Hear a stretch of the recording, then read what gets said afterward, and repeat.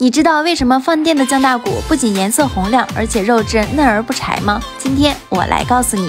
首先，我们准备一盘不要钱的大骨，我们给它清洗干净，冷水下锅，加入姜片、料酒，去除它的腥味儿。焯出血沫之后，捞出温水洗净。然后我们起油烧锅，油热之后下入冰糖。咱们这个酱大骨啊，想要颜色红亮、好看、有食欲，主要呢就在这个糖色。咱们熬糖色的时候呢，先开大火把冰糖敲碎、融化。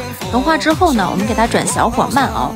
这个糖色呢，熬的时间短了发甜，熬的时间长了发苦。熬制这种枣红色冒泡的时候刚刚好，我们给它加入开水。加水时呢，注意安全，不要溅到自己。然后我们下入焯好的棒骨，之后下入大块的葱姜桂皮八角香叶干辣椒，再放入一品鲜酱油和蚝油，再来少许的老抽上色。之后加入一勺甜面酱和一勺黄豆酱。